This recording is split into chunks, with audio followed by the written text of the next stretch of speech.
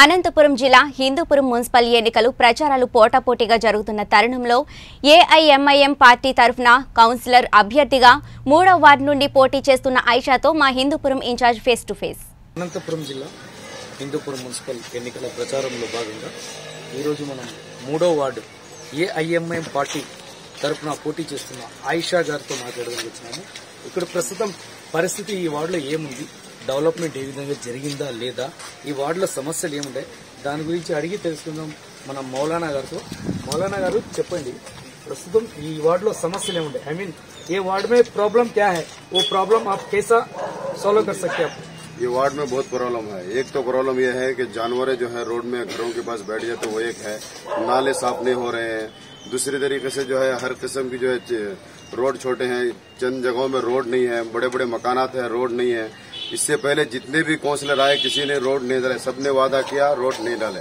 अभी ऐसा ही पड़ा हुआ है सब। ये पानी की सहूलत तो ठीक है लेकिन रोडों की बहुत परेशानी है।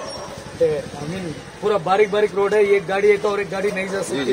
ऐसे प्रॉब्लम है। ऐसे इसके बारे में आप काउंसिलर बने तो आप क्या कर सकते हैं?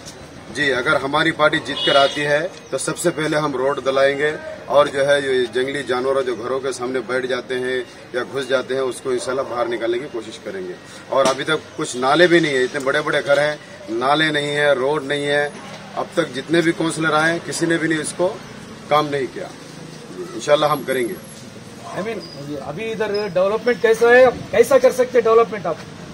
डेवलपमेंट कैसा कर हमारी पार्टी अगर जीत कर आती है तो हम करेंगे इंशाल्लाह जितना हो सके हम करेंगे इंशाल्लाह ఆ, మీరు చెప్పండి మీరు ఆ, కౌన్సిలర్ అభ్యర్థి తరపు నుంచి ఉన్నారు ఇ- ఇతను మీ పేరండి మహబూబ్ బాషా మహబూబ్ బాషా ఇతనితో కూడా మాట్లాడదాం అంటే ఈ వార్డులో సమస్యల గురించి ఎలా ఏ విధంగా స్పందిస్తాడు ఇతను దీని గురించి కూడా మాట్లాడాలి చెప్పండి బ్రదర్ ఇప్పుడు మనకి వార్డులో సమస్యలు ఉన్నాయి ఇప్పుడు ఏఎంఐ పార్టీ ఎన్నికైతే కౌన్సిలర్ ఎన్నికైతే మీరు కౌన్సిల్లో ఏ విధంగా వాళ్ళు సాయం చేయగలరు మేము ఏం సహాయం అయినా మా చేత మా జమాతుల్ ముస్లిమీ నేత నుంచి మా దీని గురించి మేము ఏమైనా చేస్తాం. ఎనీ టైం ఇరవై నాలుగు గంటలు మాకు అర్ధరాత్రుల్లో ఫోన్ చేస్తే పోయి మా ఇంటి మా రైల్లో కరెంటు లేదు మా వార్డులో లైట్ లేదు కాలువలు లేదు డ్రైనేజ్ లేదు లేదా డ్రైనేజ్ జామ్ అయిందా ఏం సమస్య ఉన్నా మాది ఇది కౌన్సిలర్ది ఏమున్నా మేము కష్టపడి సొంత ముందు నిలబడి అంతా మేము చేపిస్తాము మేము కూడా చేస్తాము.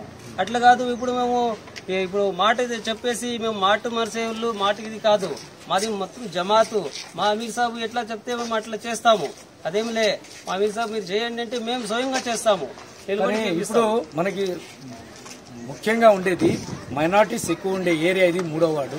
ఈ వార్డులో మీకు ఎన్ఆర్సీ ఎన్పిఆర్ సిఏ గురించి మన లాస్ట్ టైం అసదుద్దీన్ ఓఎస్సీ గారు వచ్చారు. దాని గురించి కూడా ప్రస్తావన తెచ్చారు.